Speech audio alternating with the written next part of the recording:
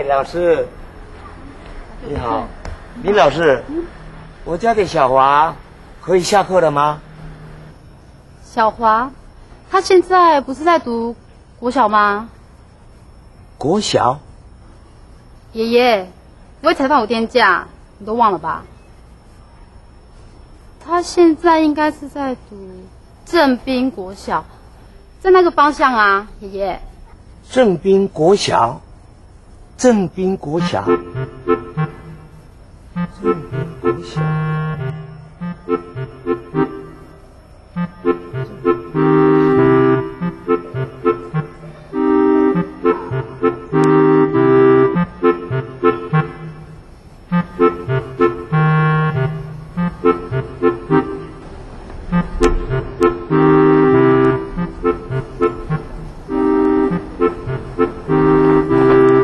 阿公，你怎么那么久才来？同学都已经走光了。哦，小华，你来念这个小学多久了？阿公，你接我上学已经一个多月了。是吗？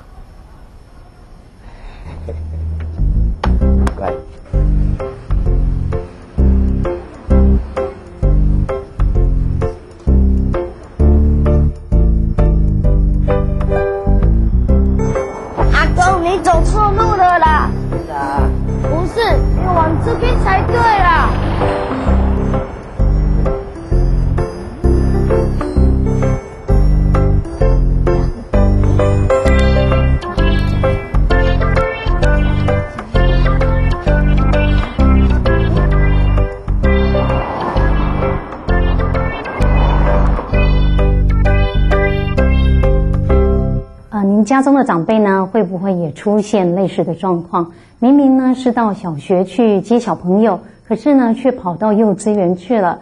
那回来的时候呢，还走错了方向。那或者是在家里头到楼下买个东西，可是却花了两三个钟头才回来。那或者是家里头冰箱里头已经有许多的菜，可是长辈还是到呃菜市场去买同样的菜回来。